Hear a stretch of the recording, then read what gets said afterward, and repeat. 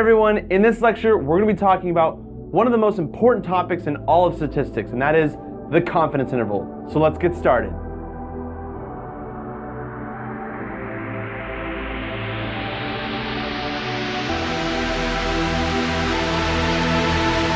So in the last lecture, we were talking about these very important words about or around. Now, in this lecture, I'm going to keep the numbers a little bit easier to work with. So remember that when you calculate an average of 30, that doesn't necessarily mean that the average age is 30. It means that the average age is about 30. Now, the purpose of this lecture is to address this really important question. What does about mean? Like, what's close to 30? What's around 30? Now we can answer that question with what are called confidence intervals. A confidence interval is a range of numbers from one number to another number that likely contains the parameter that we're trying to make an inference about. So the idea is that even though you calculate an average of 30, you can't quite say that the actual average age of the population is 30. You can't make assumptions about the parameter. Confidence intervals can fix that issue. So here's an example of a confidence interval we can say that the average age is actually somewhere between 28 and 32. So we're trying to capture that actual average. We're not making a claim that the actual average is 30. We're making a claim that the actual average is somewhere between 28 and 32. Well, we actually can't even do that. We can't make a claim that the actual average is between 28 and 32 because it might not be. But what we can do is we can calculate a probability that the actual average age is somewhere between 28 and 32. And if that probability is high, then we might as well just say, good enough. We probably captured it. And that's what confidence intervals do. Now, it's important to understand that confidence intervals are trying to capture the true average. But it's also really important to understand that every confidence interval has a probability attached to it. So I can't say with 100% certainty that the actual average is between 28 and 32 because it might not be. But I might be able to say that the probability that the average age is between 28 and 32 is like 95%, which is really good. Now, again, it turns out we can actually calculate what that probability would be. I'm just making up a number. I'm making up a probability here. But we can use mathematics to calculate that probability that is attached to any confidence interval. So let's go through an example of what a real confidence interval would look like. I might say that if I have a 95% confidence interval, that's between 28 and 32, that just means that there is a 95% chance that the actual average age is between 28 and 32. Now notice something here. What's between 28 and 32? What's right in the middle there? Well, 30. That's the average that we calculated from our sample. If you remember from the beginning of this lecture, we talked about calculating an average age of 30. But we're not making a claim about what the actual average is. We're making kind of like this region that's trying to capture what the true average is. So I'm not saying the average age is 30. I'm saying it's 30, well, around there, plus or minus 2. So in that case, we're going from 28 to 32. And that plus or minus 2, that 2 is like your margin of error. And if you've ever seen in a poll, uh, it might say the phrase margin of error. That's what it's referring to. It's referring to how far away from their, their calculation um, that they're allowing for for some error. So that's what margin of error means. And this is what a really good confidence interval looks like. Now, I'm not making a claim that the actual average is between 28 and 32. I'm just 95% certain that's the case. It could be that the actual average age is higher than 32 or lower than 28. I might be wrong, and there's a 5% chance that I'm wrong. But that's kind of a small chance, so scientists are typically okay with that. Now, before we move on to the math portion of this lecture, I want to mention a really important point. When you gather your statistic from your sample and calculate an average age of 30, that does not mean that the average age of the population is 30. The reason for that, and we've talked about this a couple times, but I really want to hit this home. The reason is that if 1,000 scientists conduct the same study with different samples, the results are probably going to vary. They're probably going to be different from each other, but they're probably going to be close. And so the solution is not to make claims about what the actual average is. The solution is to provide confidence intervals. So let's go through some confidence intervals together. We're going to head over to the computer. So I'll see you there. All right, so we're going to go into some more explicit examples of confidence intervals. There's going to be two portions of this next section of this lecture. Uh, the first portion is to understand what this says right here. Uh, the second portion is to learn how to develop confidence intervals because they're extremely important when you do a test or an experiment. Now, basically, this right here, this 96 comma 102, is actually a region. It is a region. I'm going to use blue to label this region. It is the region between 96 and 102. So it represents a bunch of numbers. In fact, it represents all of these numbers right here between 96 and 102 basically what this says is uh, um, I'm 95% confident that the true average is somewhere in here. So um, remember, the whole purpose of statistics is to figure out um, information about the population. And when you're doing experiments, you generally tend to calculate averages. And you're trying to get at the population average. And the best way to try to find that population average is through confidence intervals. Confidence intervals basically says, I have these two numbers, 96 and 102. And I'm trying to capture the pop population average. So I don't actually know what the population average is. I'm never going to know that. And that's why we have confidence intervals. That is the entire reason we do confidence intervals is because we accept the fact that we're never going to find the population average. That's not the intention because that would require a census, meaning we would have to sample the entire population. But when we collect a sample, we can guess as to where the population average is. So let me give you real quick an example. Now there is a, technically a problem with this. Um, well, actually, before we go into this example, let me clarify what this 95% means. If this is true, if our 95% confidence interval is between is from 96 to 102, this means that there is a 95% probability that this average is somewhere between here. It could be that, oops, it's not actually here. The actual average is right here. And that would happen with 5%, 5% of the time because this is a 95% confidence interval. And basically, the, the higher your confidence, um, the more broad your range is.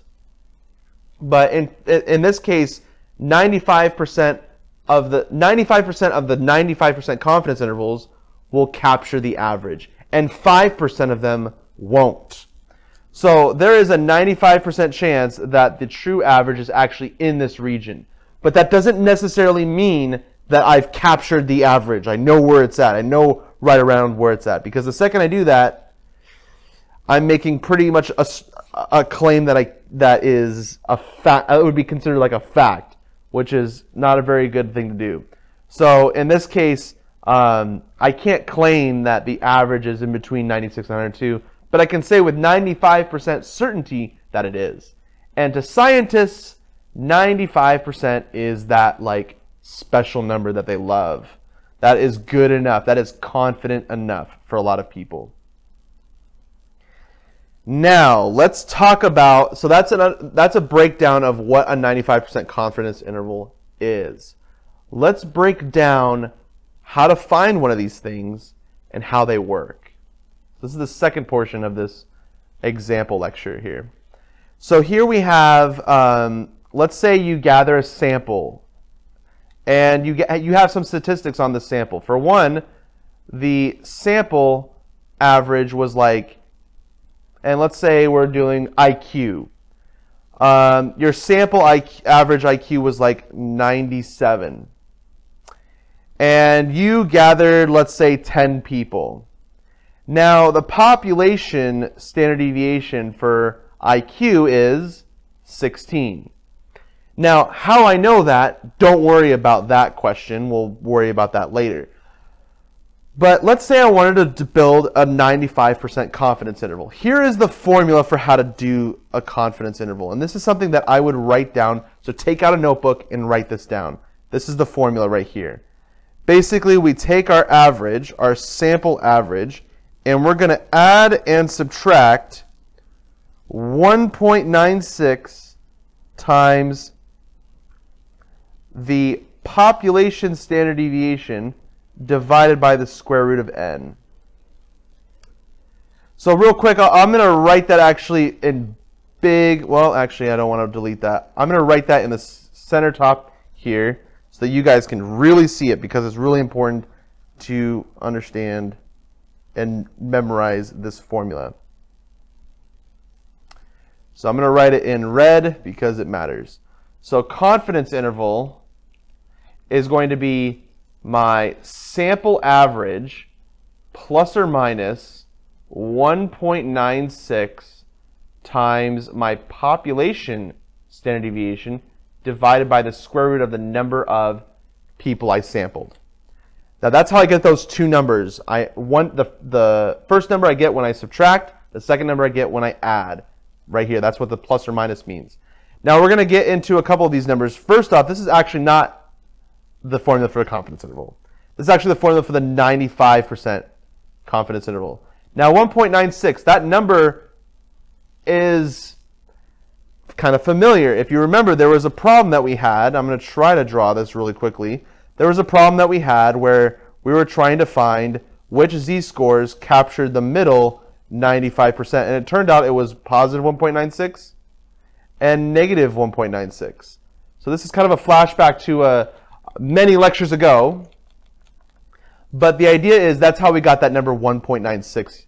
Um, technically, there is a um, a special notation for this number. It's actually called Z star. Z star represents what's called the critical value. And for 95%, that number is 1.96. Now, we'll talk about how to find z-star later on. Technically, we already do know how to find z-star. It's uh, whatever the solution is to this problem. If you have a certain region here, in this case it's 95%, but whatever your um, confidence percentage is, confidence interval percent, um, the question is what z-score would give you um, a region between negative z and positive z of that percentage, and that is your critical value. But ignore that for now. We'll talk about a faster way. There's actually a chart that gives you this because calculating that is a little tedious. And besides, most of our confidence intervals are going to be 95% confidence intervals. And for that reason, we're actually pretty much just always going to be using 1.96 here. Now, one note about notation, you're probably never going to see this mu sub s. That's actually really rare. A lot of times what people use is x bar, and x bar represents sample average. So my sample average is 97 in this case. So I'm gathering IQs of people, right? I gather 10 people and I have um, the IQ, and I'm trying to figure out where is this average IQ. What is the true average IQ? I claimed earlier was 100, but I'm not so sure about that. Well, let's develop our confidence interval here. So our, our average is 97, and then we're going to plus or minus 1.96 times, and the numerator here is going to be 16 divided by the square root of 10. Now we have to be very careful with PEMDAS we have to do um, this division before the multiplication because of the way I wrote the division. And then we do the multiplication, and then we do the addition slash subtraction. So first I'm going to figure out what this is. Now this, by the way, is, is like, so this is the center of my confidence interval. And I'm going to add and subtract from my center to find the, the boundaries of my confidence interval. And this is considered the margin of error. So I know I am throwing a lot of terms at you, but Just keep in mind that I have my center and I'm adding and I'm subtracting. Um, so in both directions, and I'm adding this this error, this uh, region, to, uh, this like dimension to this number 97. I'm not claiming that the actual average is 97. I'm claiming that the actual average is around 97. So let's figure out what the margin of error is. 1.96 times 16 divided by the square root of 10 is 9.92. So this is 97 plus or minus 9.92, which by the way is two numbers. The first number is what I get when I subtract these two. So 97 minus 9.92, which is 87.08. And then the second number is 97 plus 9.92, which is 106.92. And so now I have created a confidence interval, and basically what I'm saying is, if I have this number line, and I have the number 87 and the number 107, those are basically my boundaries, I'm making the claim with 95% accuracy that the actual true uh, average is somewhere in here. And it is. Think about it. The average IQ is 100, which is between 87 and 107. So yes, I captured the average. Now, as my sample size gets bigger and bigger and bigger, then my margin of error is actually going to get smaller and smaller and smaller. And this region is going to get smaller and smaller. And I'll be able to capture this average with more accuracy. Because at this point, I don't know what the population average is. I said it's 100, but the only reason I know it's 100 is because of some problems that we did earlier and because IQ is intentionally designed that way. But when we're trying to really capture an average, well, we're going to run into a couple issues here. Number one, we're never going to be able to figure out what it is. We're just going to be able to narrow down that region closer and closer by increasing our sample size. Um, the other problem we're going to run into is, and this is actually a problem with this pro, uh, particular example, this guy right here. Think about this philosophically for a second here. Where did that number come from? Now, this is what happened. You took a sample, you calculated the sample average, you counted the number of people in your sample, which is 10. That you can do. How did you get the population standard deviation? Well, if you rewind this video, you're going to find out that I actually just gave it to you.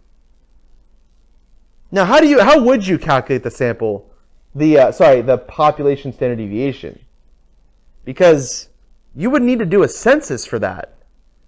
And if you did a census, then there's no reason to try to create a confidence interval because you know the population average if you calculate this population standard deviation.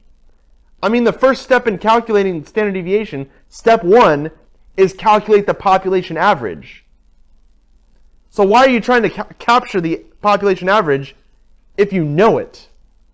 Because if I know the population standard deviation, that would imply I would also know the population average.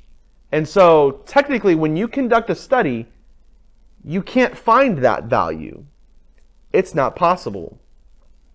So we're going to have to fix this big problem, which we'll fix later on when we get into t-tests. But this is a very big problem. Unfortunately for now, I'm going to actually be giving you the population standard deviation. And later on, we're going to fix this problem because really the only thing you can calculate is the sample standard deviation. You can only calculate the standard deviation of whatever sample you collect. You can't calculate the standard deviation of the entire population unless you do a census. Thank you guys so much. I'll see you in the next video. You just watched a video from Amour Learning. We provide free math videos and we offer many online courses. We also provide free math tutoring via YouTube Live every Thursday and Sunday at 9 p.m. Eastern Time. Make sure to subscribe to our YouTube channel and like this video to get access to all of our free content. And put a comment in the comment section if you have any math questions. Check out all of our courses on amourlearning.org.